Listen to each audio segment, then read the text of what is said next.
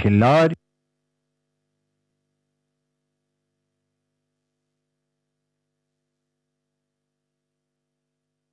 En. To. Kjør.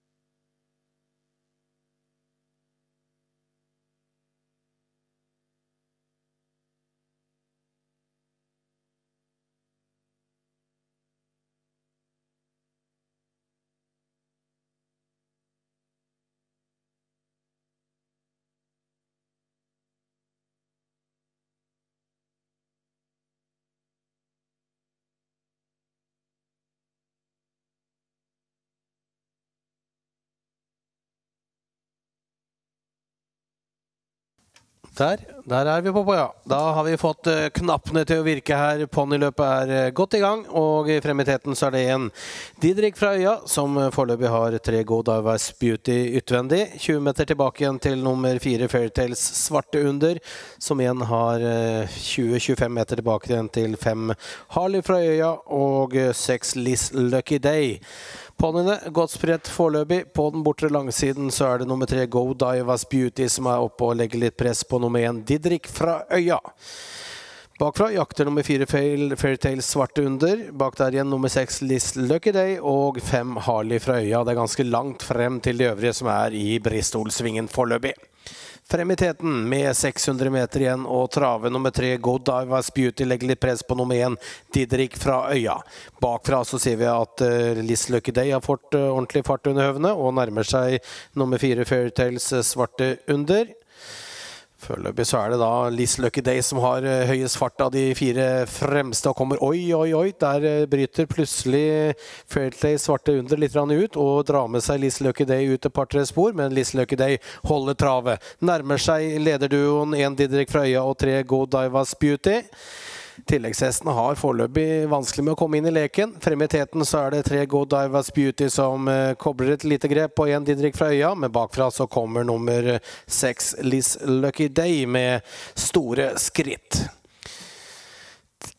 Gjennom siste svingen. Tre Go Divers Beauty holder foreløpig stand, men bakfra kommer nummer seks Liz Lucky Day og har klart størst fart. Så galopperer nummer tre Go Divers Beauty. Holder seg tilbake igjen i traven ganske fort, men Liz Lucky Day har størst fart under høvene.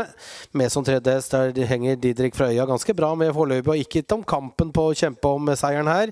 Tre nummer seks Liz Lucky Day går og bryter og galopperer litt mer. Uh, det var selvfølgelig ikke det var Fairytales Beauty, for ute i banen så er det seks løs Seks Liz Lucky Day som stikker til seg en lengde eller to. Nå kommer nummer én Didrik fra ut fra lederryggen og tar opp kampen igjen. Men Liz Lucky Day setter gå mot seieren. Skal se om det er noe som kommer bakfra. Det er ikke det foreløpig, for det er uh, Liz Lucky Day som har en klar ledelse når vi har uh, 60 meter igjen uh, drøyt og kommer inn mot mål. Liz Lucky Day har en klar ledelse, og så kommer det en god spurt og en god avslutning ute i banen her nedover mot oppløpet. Men seieren er aldri i fare for nummer seks. Liz Lucky Day, selv om nummer 11, eh, Rislas Cannabis, eh, kommer en herlig avslutning og tar andreplassen. Tredjeplassen går til en Didrik fra Øya foran tre God Divas Beauty. Og så har vi nummer fire Come Laby Trulle og nummer sju Scarlett. Innenfor der igjen nummer fire Fairtales Svarte Under. Liten lengde igjen tilbake til nummer ni Nelly og fem Harley fra Øya. Men vinner, det gjør Liz Lucky Day, vinner Trav og Galoppnytt og Oslo Akershus Travforbunds ponniløp. Liz Lucky Day og Hans Martin Theodorsen tar seg av Trav og Galoppnytt og Oslo Akershus Travforbunds ponniløp. Her kommer hans Martin skal få blomster og eh, gavekort. Ta deg hånda, da. Gratulerer. Takk. Så ser vi inn i kameraet der. Du, dette var et uh, herlig løp hvor du hadde størst fart ganske ja, hele løpet, egentlig. Ja. Kjente du at det var uh, de andre som sto foran, de, at du henta dem på dem for hver eneste meter? Ja. Gikk tank, hvor gikk tankene dine da, sånn taktikkmessig? Nei, jeg hadde bare å kjøre på. Bare kjøre på. Er det det du bruker taktikken eh, stort sett alltid? Ja. Går det alltid så det blir seier, da? Nei, ikke alltid. Hva tenker du da de ganger du ikke vinner? Tenker du da at du kanskje skulle gjort ting annerledes? Ja. Men innstillinga stort sett, det er det bare å kjøre på? Ja. ja. Du, hvor lenge har du holdt på med ponni? To år snart. To år snart. Og du begynte på hvilken måte? Eh, april, tror Ja, nei, ikke måned, men hvilken måte begynte du? Hvordan Å, ja. kom du bort i sporten?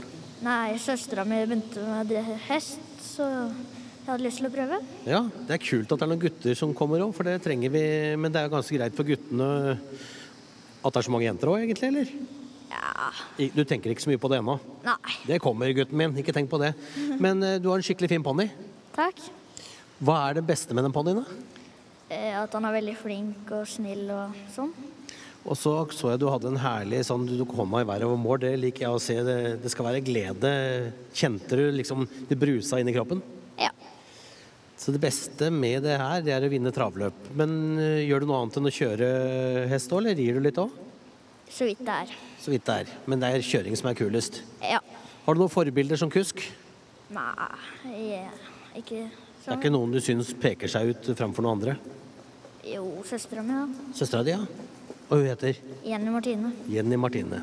Gratulerer med seieren, da. Takk. Liss Lucky Day og Hans eh, Martin Theodorsen tok en herlig seier her i Travel og og Oslo og Akershus Straffeforbunds ponniløp.